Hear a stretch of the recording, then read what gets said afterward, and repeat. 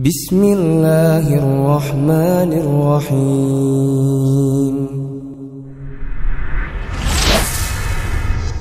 Satu pertanyaan terakhir ya karena kita waktunya sudah hampir habis. Singkat saja silakan.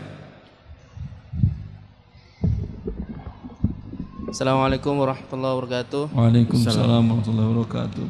Ustadz saya punya ini dulu saya sempat ngambil motor kredit di showroom dan itu dulu Enggak dikejarnya Anda, Anda ambil motornya. maksudnya ngambil cicilan Ustadz. Beli dengan cara Beli dengan cara riba Ustadz. Ca- Ja- kredit beli Anda beli dengan dia. ya. Kemudian uang kurang. Atau Maksudnya tunai kredit- Anda beli? Kredit kredit Ustadz. Tidak tunai. Tidak tunai. Berarti Anda pergi ke pihak lembaga keuangan atau pihak showroom itu yang menyediakan leasingnya. Langsung pihak showroom Ustadz. Ah, terus dan ya. Dan itu saya lakukan waktu itu saya belum tahu hukumnya riba Ustadz. terus Nah, jadi sekarang eh, motor itu sudah hampir lunas, tapi saya baru tahu hukumnya itu riba Ustadz. Jadi bagaimana keadaan hukumnya motor itu Ustadz? lunasi cepatnya utang tadi dan masalah motor halal.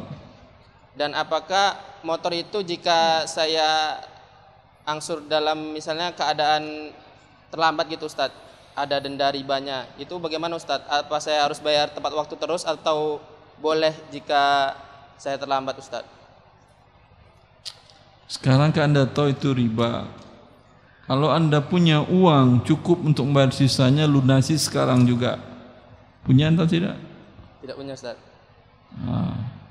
Tapi terkadang saya bayar per bulan itu terlambat Ustadz. Iya, sekarang Anda mau tobat kan ya? Iya Ustadz. Lunasi utang ribanya. Kalau tidak mampu juga jual motor tadi bayar utang ribanya. Beli motor yang lebih murah. Baik, jazakallah khair. Allah Satu lagi. Ustadz. Ini simpel Ustadz. Eh, apa hukumnya mengupload video ke YouTube yang diiklankan sementara iklan di YouTube itu tidak bisa difilter, ada iklan seperti rokok, iklan alat kontrasepsi, walaupun ada iklan-iklan yang baik juga Ustadz. Kalau tidak bisa difilter berarti ada syubhat.